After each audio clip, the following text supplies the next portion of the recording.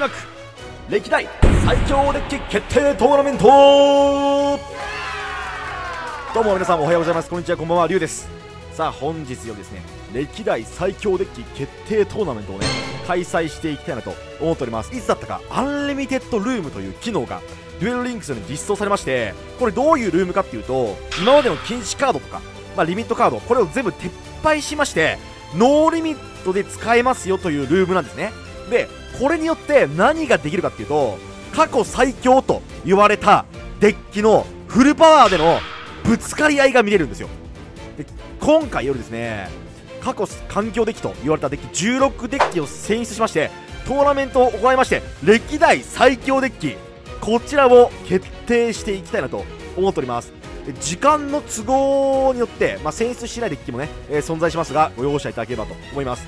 各対戦、えー、一本勝負。一本勝負で勝敗を決していきたいなと思います。ちょっとかなり運ゲーの要素が強くなりますがそもそも運ゲーなんて遊戯を、えー、ご了承いただければなと思っております。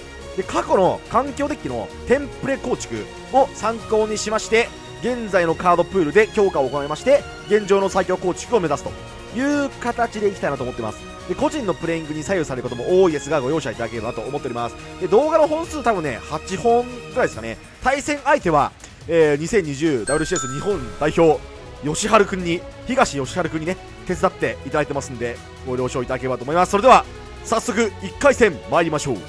デュエルスタンバイ。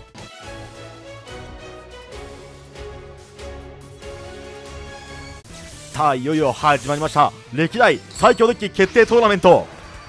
1回戦からカスブ州が登場でございます。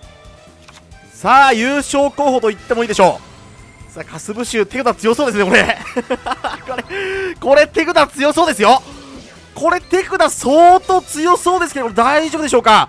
さあ2ドロー入っていく。で さあ支援の道場も2枚発動。そしてレベル4のかけ6部首なんだっけこいつ。えー、っと新鋭に風魔をチューリング。かけ6部首じゃねえや。シックの召喚。新6部首支援。さあカウンターが2個乗っていきます。そして刻んも特殊召喚されていきます。さあここでさらに支援の道場の効果でデッキより風魔が特殊召喚されまたカウンターが乗っていく。そしてこれはこれ支援支援かまさかこれ。これ出た。支援支援だ。これはやばい。これは手札がゴリっている。これは完全にゴリラハンド。手札小林状態出ました。手札小林状態来ました。さあ支援の道場の効果によってやばい。なんだこれは。支援支援源氏腕組んでターンエンド。出たー。カスブ州さすがです。なんと参謀外先行リンクスデュエルリンクスにおいて先行参謀外が成立してしまいました。キース選手どうしてるんでしょうか？デス侍これ厳しいですよこれ非常に。非常に厳しいデス侍は一応効果で離れるとデッキからアンデッド族を特殊召喚できるという効果を持っていますんで、まあ、一応バウンスできないかなと思い思うんですけどもまあ容易には。ただかといってこれ魔法トラップカード2回止められるっていうね絶望的な状態。これは WCS2019 のあの悪夢が蘇ります。あの悪夢が蘇ってきます。アレ選手が何もせずにターンエンドしたというあんなに緊張していたアレ選手が小林選手のゴリハンを見て緊張が完全に解けてしまったという伝説があります。これはこれはやばい。なんだこのデッキ。なんだ。こんなデッキが許されていたというのか。過去に。領域？それは支援で止められてしまう。さあ支援の効果あと1回支援の効果残っていますよ。あと支援の効果1回残っています。さあここでなんとか召喚権を1回増やしたかったところですがヴァンパイア許されません。おそらくこれチェーンはエネコンなんじゃないかなと思うんですがどうなんでしょうか。エネミーコントローラー2枚とかあってギリギリなんとかなるかなといったところですがさあどうでしょうバンネットキース選手。さあ考えております。さあエネミーコントローラーの効果発動フィールド上のモンスター一体をリリースし相手のモンスターをパックルいたいと言いますがもちろんそれは支援で無効化されていきます。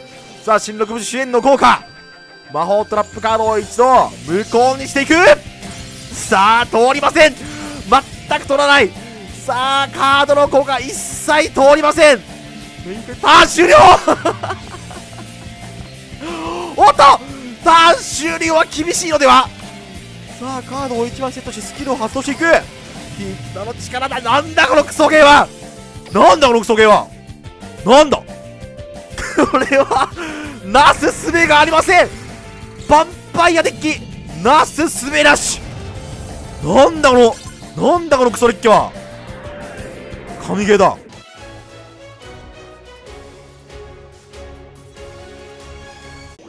さあ初戦は、えー、大事件が起きましたけれども、えー、初戦1回戦第2試合はですねソラカス VS コアカスというね夢のような夢のような対決となっております。さあコアキメールが若干事故ってますけどこれ大丈夫でしょうか？これは結構簡単にワンキルが飛んでくる可能性ありますよ。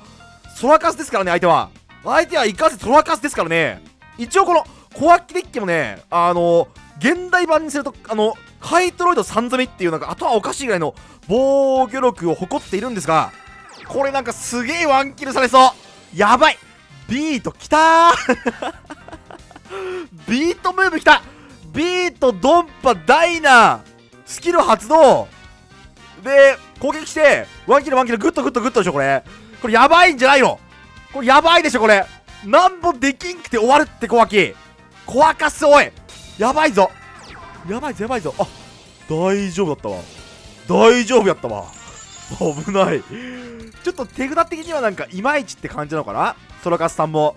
ソラカスさんさ大丈夫ですか？あんまりなんか悠長なことしてると殺しますよすぐコアカスが。さあ肉せ肉声絆の力。1400では超えれないんですね。1400では超えれないんですね。このモンスターは。さあ広角きた。広角きたか。えーととりあえずですねまずウルナイトの効果によってえー、アイスを特殊召喚していくと。なるほど。そしてアイスの効果使っていくといったところでしょうか。さあどうするでしょうか。さあどうしますかソラカスさん。おエネミーコントローラー。なるほど。エネミーコントローラーでアイスをパクっていく。はいはいはいはい。なるほどですね。さあどうするんでしょうか。いきますか。これ破壊耐性がちょっとあの気になるところでありますけどね。さあ行きました。マキシマムマキシマム降臨。あ何もない。何もないですね。何もチェーンがない。さてはあれブラフやな。小脇メールマキシマムの効果発動、まあ、一応前ですよね。ウィズを破壊していく。さあそしてそして おおお召喚権残ってますよこれ。局所的ハリケーン。ウルナイトを攻撃表示召喚。ウルナイトを攻撃表示変更。スキル発動。絆の力。